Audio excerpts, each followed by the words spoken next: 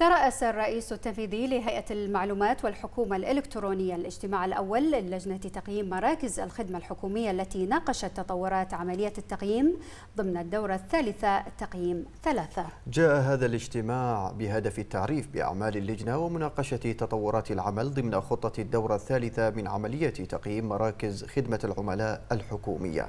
وأعرب السيد محمد علي القائد الرئيس التنفيذي لهيئة المعلومات والحكومة الإلكترونية عن خالص شكره وتقديره إلى سمو ولي العهد رئيس مجلس الوزراء لإصدار سموه القرار رقم 6 لسنة 2022 بإعادة تشكيل اللجنة مشيدا بخبرات الأعضاء وتطلعاته إلى ما سيقدمونه من إضافات نوعية ورائدة إلى أعمال اللجنة.